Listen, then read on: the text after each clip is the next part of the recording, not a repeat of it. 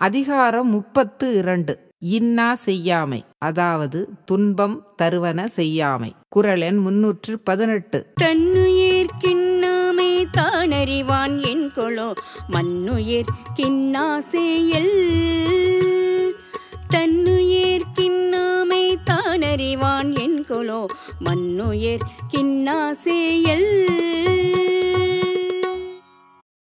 When one wisely realizes the evil effects did to him, why he refuses to understand the nasty effects of evil.